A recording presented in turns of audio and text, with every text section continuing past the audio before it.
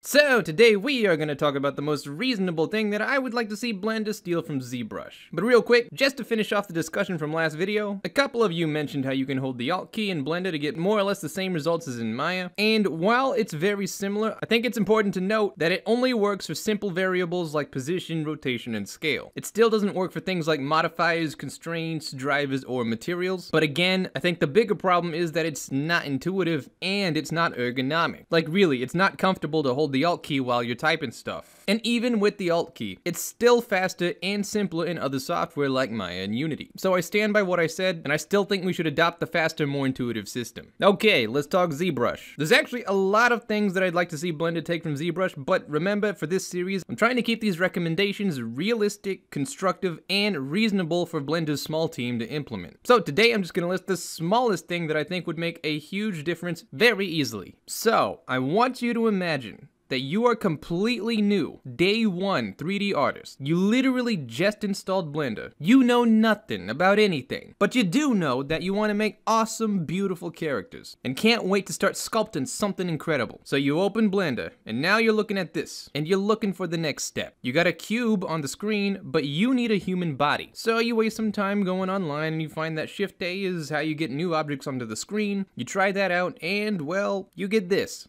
That's clearly not what you wanted, so frustrated again, you go back online and you download a free 3D base body, but then you realize you don't know how to get it inside of Blender, so once again you go back online, you watch some more tutorials in order to learn how to import objects into a scene, and after lots of tutorials, hundreds of extra clicks, and a lot of time, you finally learn where sculpt mode is and have a human body on the screen. This is day one for every new 3D character artist when they first get into Blender. Now, let me show you what day one for a new ZBrush artist looks like in contrast. Once again, you're excited, you're new, you're nervous, because you have no idea what you're doing. You open the software for the first time ever, and as soon as ZBrush starts up, this is what you see. And whoa, look here, what's this? That kinda looks like a good place to start. You click it, and bam, within 5 seconds of opening the software, you are already sculpting your first character with a fully mature, beautiful adult female body. Literally after the first thing you click. It's simple, efficient, fast, and again, most importantly, intuitive. The developers of ZBrush anticipated what you wanted and made sure that it was easy, simple, and as painless as possible. You don't have to fumble around looking for add-ons, you don't have to waste your time finding free models, no research and import and export tutorials, this is just standard, default, factory setting ZBrush out of the box. They clearly wanted you to spend less time learning the software and more time using the software. Because it's not about ZBrush. No one cares about ZBrush. ZBrush is just a hammer. It's a tool to get to the awesome art. Now I am honestly surprised that to this day that we still don't have ready to go base male and female bodies out of the box clearly visible for new users right here. Like don't get me wrong, I love Suzanne as much as the next guy, but let's be honest, nobody in the history of history got into 3D because they wanted to sculpt Donkey Kong. And there's literally thousands of free human base models Blender could use. Hell, I'd happily fix up Blender and Blender for the task if they contacted me. But my point is there should be default human bodies out of the box. And they should should be intuitive and easy to find. You shouldn't have to look for them. They should just be there. You should be able to find them on accident. Now, the main argument that I've seen against this is, well, you can add your own meshes to the list if you want. And that's true. But you have to learn how to do that on top of everything else that a new Blender user is gonna have to learn on the first day. That's a lot of extra clicks and minutes wasted on something that could have just been one click. If we just put base bodies right here. Again, there was a lot of other things that I originally had on the list Blender should steal from ZBrush, but this was the smallest and most reasonable thing that I could see the Blender devs implementing tomorrow if they wanted. So that's the main thing I'd like to see, and I think it would save new users a lot of time. If you'd like to see the other things I had on the list, let me know in the comments down below. Otherwise, as always, hope you have a